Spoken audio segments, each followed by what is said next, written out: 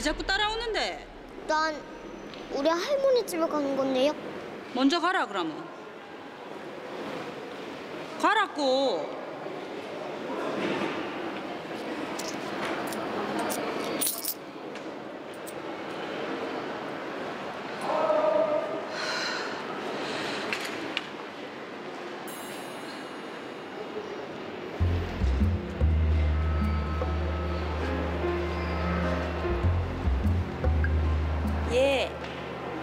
혹시 할머니 혼자 사시니?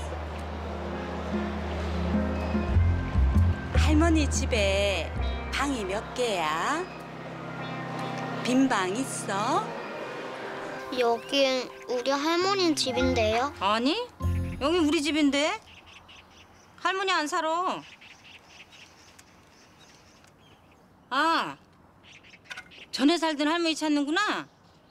그 할머니 아파서 병원에 입원했는데.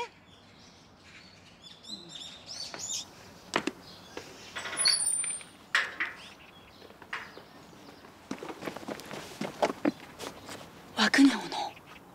이 아이가 어디 가노? 엄마랑 같이 살다가 힘들면 다시 오라고 했는데 우리 할머니 아프면 안 되는데